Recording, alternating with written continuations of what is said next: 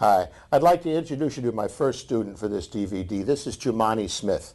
And is one of my students here at the Lincoln Center Program for Jazz Studies.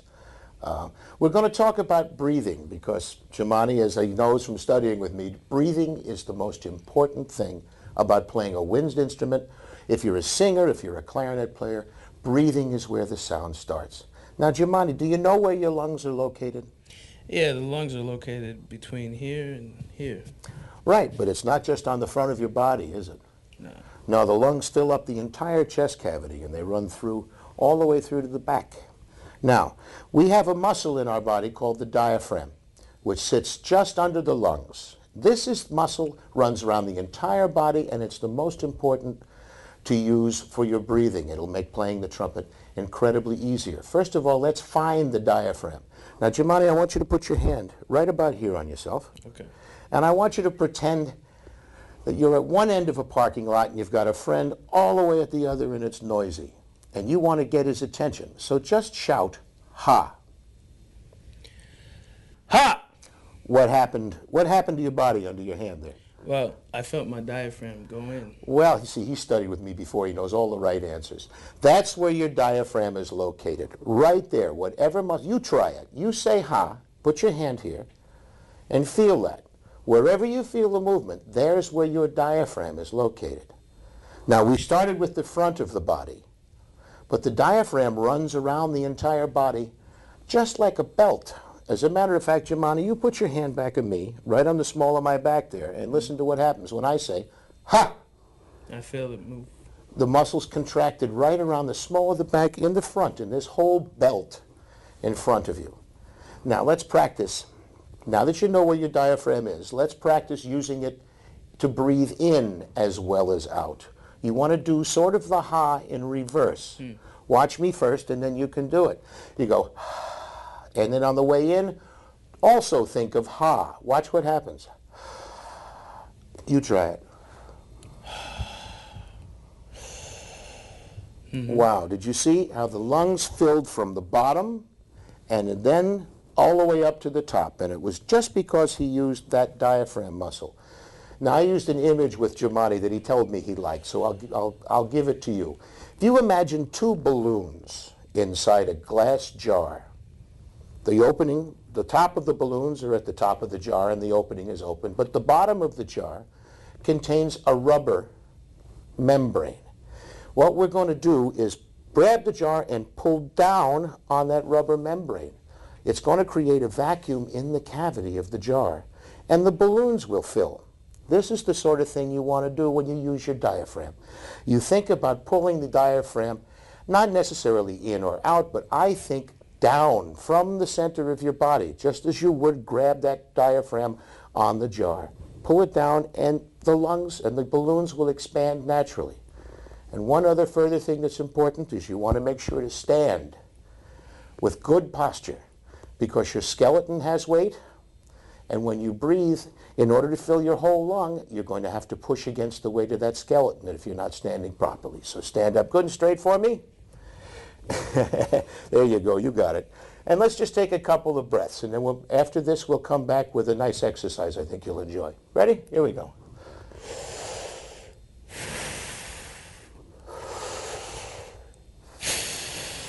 Just do this with us. Good. Think of that ha, both ways. Good. Do that for a little while and we'll be right back with a nice exercise. Thank you. Hi, welcome back. Well, you can tell what we did was just to suspend a piece of regular newspaper from a microphone boom stand here. If you're home, the best thing to do is just tape a piece of newspaper into an open doorway. And the only important thing to remember is that the level of your mouth should be about three quarters of the way down the piece of newspaper. And now I'm going to bring Jumaane in and we're going to do some exercises with this newspaper. On, Jumaane, stand about six inches away from the newspaper. Great. Now get a good lungful of air and blow the newspaper away from you. It doesn't have to go far, but we want to see how long you can hold it out there. Take a good deep breath. Okay.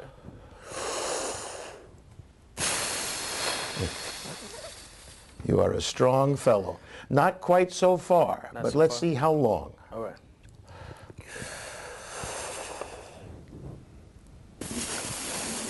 There we are. This is an exercise that'll help you control the diaphragm and control the air that comes out of your lungs. And you work to increase the duration of your breath and hold the newspaper at the same level. Now, let's go for another one. You remember what you did the first time? Mm-hmm. Blow it out as far as you can and see how long you can hold it there. Okay.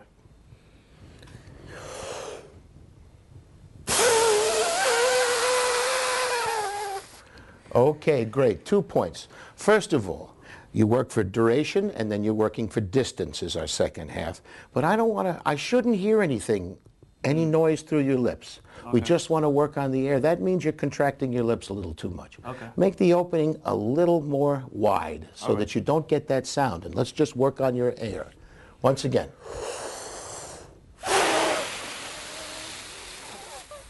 Great. So when you practice at home, you practice this daily to try and increase distance and your duration. Now we have one other way of using this newspaper. Do you remember shouting to your friend across the parking lot and that right. diaphragm contraction?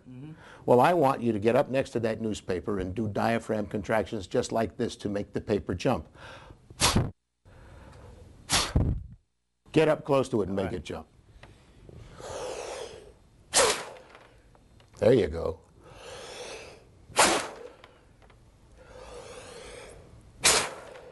Great, great work, Jumaane. These are three things you can do with this newspaper that will help you gain control over your breath and your diaphragm. We're going to be back with a couple more in just a minute. Bye. This next exercise was shown to me by a wonderful tuba player, and you know how much air a tuba player needs to play. So this will increase the amount of air you can get into your lung at the same time as working your diaphragm for that inhale. What you do, and watch me do it first before you do it, you make a fist, then you exhale and breathe in against the fist, making it difficult to get air through that fist and concentrating on pulling down with that diaphragm. Once you've got a whole lung full of air doing that, you exhale and inhale quickly. Watch me do it.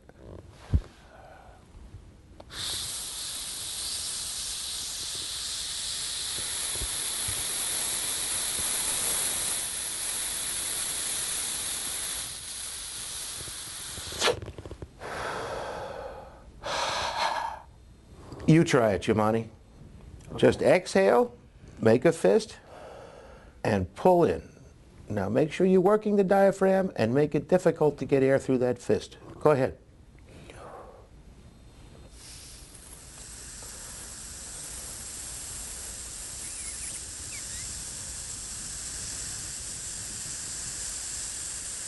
Good. Keep pulling with that diaphragm. Great.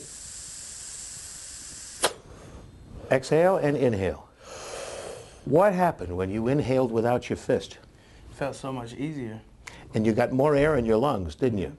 You fill those lungs in an instant because you've, you've trained your diaphragm to work on the inhale. You can do this sitting on a bus. You can do this anywhere. Don't need a trumpet, and it will help you.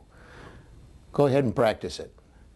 We've got one more to do, and this is called the yoga alternate nostril breathing exercise. It's a bit complicated, but bear with me. I'm going to do it once, and then Jumaane and I will do it together. First, you start with a count. Let's start something simple like four. Just go one, two, three, four, and keep that tempo with your foot. Now you put your hand up and close one nostril with your thumb and exhale through the open nostril to four beats. Then you close both nostrils and you hold the air out for four beats. You then open the other nostril, exhale, or inhale rather, hold it in for four beats and continue the entire process. It works like this. I'm just going to keep time over here. One, two, three,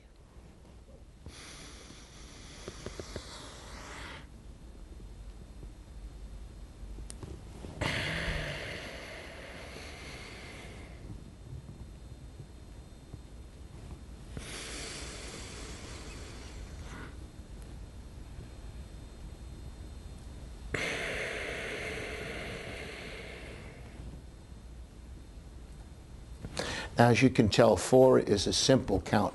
As you start increasing the count and holding these things in longer and holding them out longer, you're actually developing the control over your air and your lungs that's going to benefit you when you play the trumpet. So once again, Jumaane, let's move it up to six because I know you're a big guy.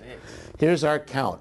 We're going to do this and we're going to get it three or four times. Here we go. One, two, three, four. Inhale, six.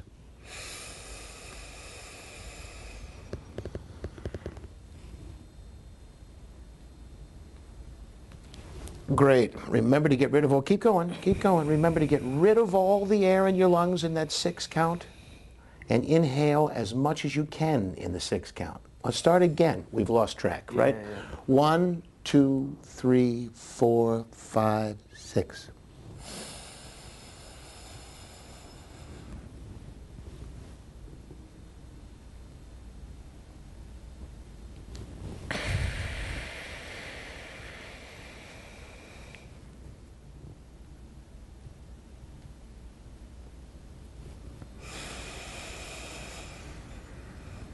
What happened? You filled up at about 4 mm-hmm. The whole point of this exercise is to breathe evenly and control your intake and outtake and not to get panicked when you're holding the air out of your lungs or in your lungs. The whole idea of this exercise is to even up the muscle mm-hmm. movement and keep yourself calm. It's a breath control exercise. It's actually very good for your health. So try that for a long time too. Thanks a lot, Jumaane. You've been great. Thank Good you. work.